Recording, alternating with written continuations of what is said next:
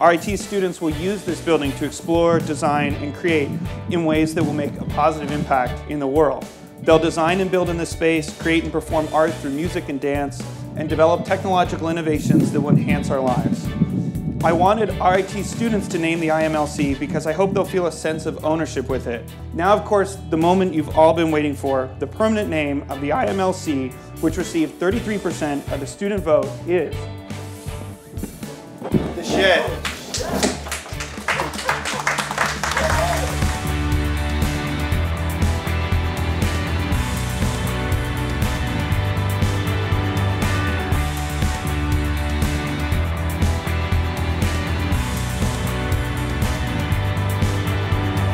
Jonathan, we're pleased to present you with 500 Tiger Bucks with the help of the RIT Robotics Club and this enormous check checkbot. It took a little bit of brainstorming and a lot of word jumbling. Ultimately, the Student Hall for Exploration and Developments felt appropriate. It feels unreal to know the name that I submitted will be on this building. When I was first accepted into RIT, I was so thrilled, but initially I had financial issues that would prevent me from doing so.